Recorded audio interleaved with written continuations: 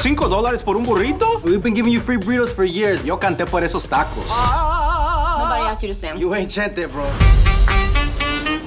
We need a new approach. I'll give you a brand new list of ingredients that we can try out, and it's gonna be great. People love discovering new things.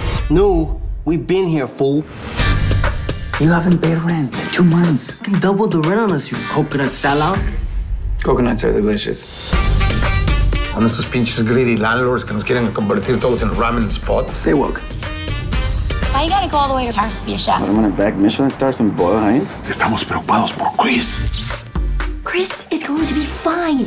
He can afford help like therapy or Whole Foods. Can ¿Qué dijiste, Whole Foods?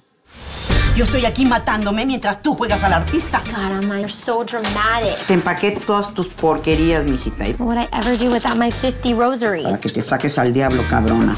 My daughter, she's beautiful. She's brilliant. Marry her, pendejo. Play like a team. You know, como las chivas. The defense communicate with the offense and then... ¡Gol! ¿Se me entiende, no? I think so. Te pasas toda la vida construyendo un negocio. Para que un pendejo te lo quite. We're not gonna save the shop with a burrito. We're gonna save it with some changes. ¿Qué es esto? Chicken tikka masala taco. Esto no es comida mexicana. No es comida americana. Oye, ¿tú estás seguro que eres mexicano? I'm more Mexican than all y'all. And don't forget to leave a review.